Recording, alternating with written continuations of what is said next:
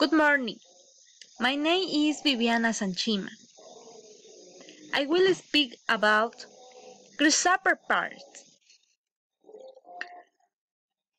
Head. Eye.